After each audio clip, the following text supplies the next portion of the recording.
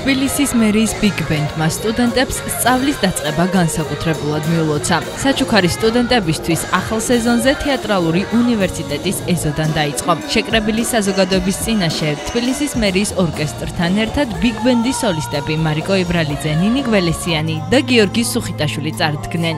ჩვენ ვიწყებთ წლევანდელ წელს, ვიწყებთ თეატრალურ ინსტიტუტიდან.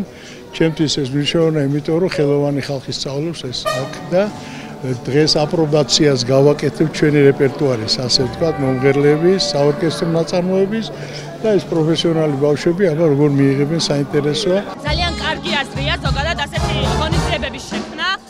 აა რადგანაც როგორც მოგეხსენებათ, ძალიან ბევრი პირველ კურსელია და ეს ყველაფერი ხელს შეუწყობს ჩემი აზრით, რომ ერთმანეთი უკეთ გაიცნონ, ლექტორებიც გაიცნონ, საკუთარ სფეროში ერთმანეთში უკეთ გაერყვნენ თუ რამდენად კარგი აქ სწავლად.